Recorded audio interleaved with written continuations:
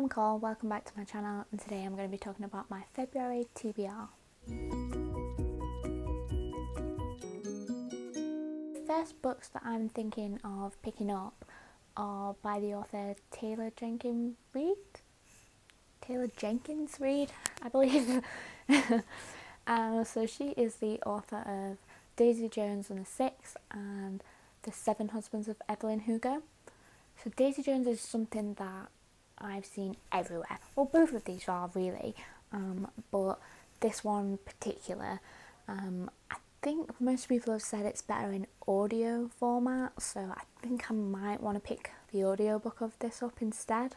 Um, so Daisy Jones and the Six tells the story of a fictional band uh, that were really big, I believe. Um, kind of like I get the sense of a Beatlemania type thing where everybody goes mad about them.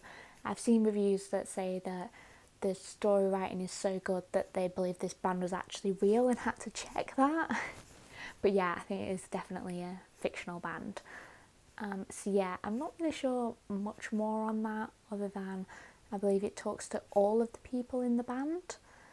Uh, I don't know if it's an interview style or whether I'm getting that confused with The Seven Husbands of Evelyn Hugo, which is the story of kind of a famous Hollywood actress, I think, um, and she has decided to have an interview and talk about her life. And I believe there's a lot of stuff that went on there. Um, both books I've seen have had rave reviews, um, so I'm interested to hopefully pick both of them up.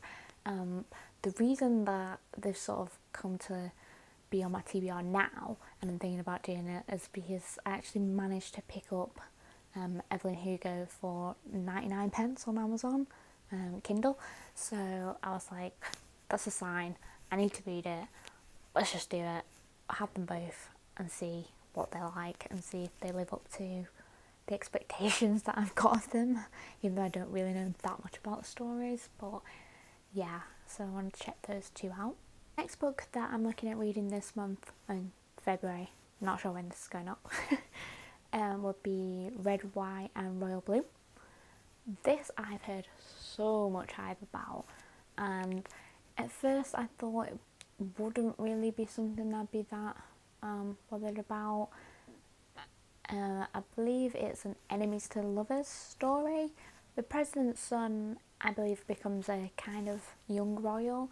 Um, he has beef with the royal family, or maybe just the royal prince in the in England. I'm not sure how deep that goes.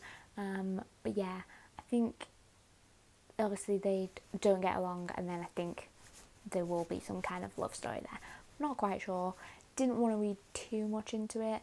Hadn't looked that much into it to be honest because I didn't think I was actually going to pick this up, but I'm hearing so much about it. Um, actually from both sides now. So at first I was hearing that it was rave reviews and everyone was loving it, but I've actually seen some negative stuff now as well about it. So I just want to pick it up myself, read it, so I can stop thinking about it. and when people mention it, I can think, oh yeah, I like that book, or no, that was not for me. Um, so yeah, I'll be interested to see what this one's like. Hopefully, I will be one of the people that likes it. The next one I'm going to pick up is To All the Boys I've Loved Before.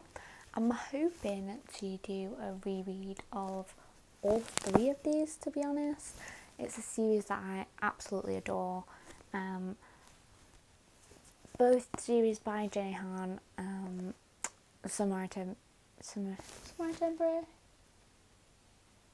Yes, yes. Sorry.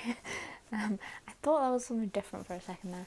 Um, yes, so both series are ones that I really enjoy.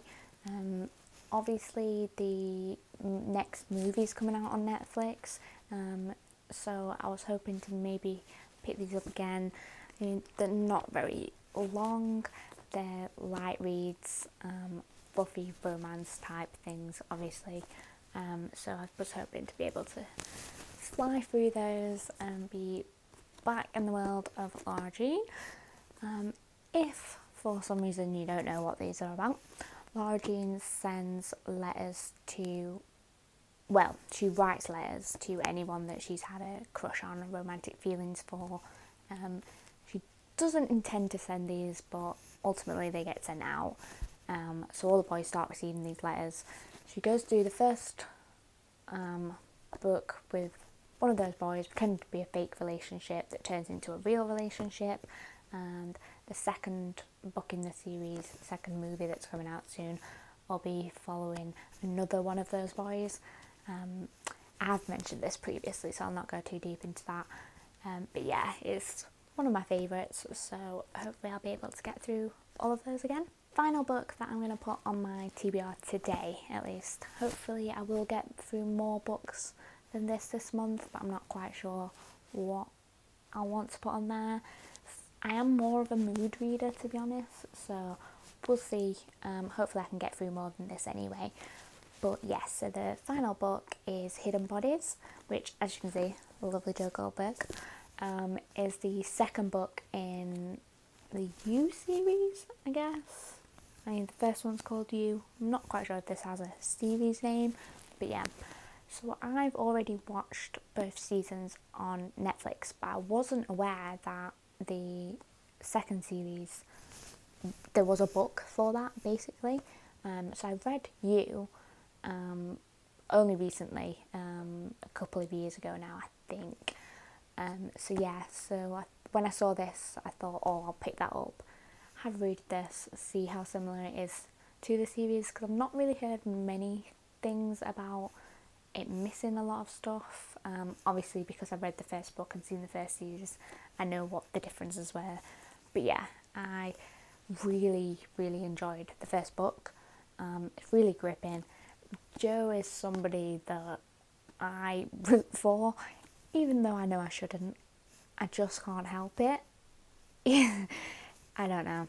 I guess he's just one of them characters that's just written so well. Um, but yeah, he just gets you on side. I guess it's kind of like a. I always think when I'm like watching the show and stuff, it always reminds me of like Dexter because he's another character that I just root for, even though he's a murderer. Yeah, I don't know crazy. But yeah, I'm really looking forward to seeing what this one's like as well. That's all the books that I'm adding to my TBR for now. I will obviously keep you updated on any others that I read. Um, hopefully there'll be more than this in my February wrap up. Fingers crossed if I can manage my time better this month, but we'll see.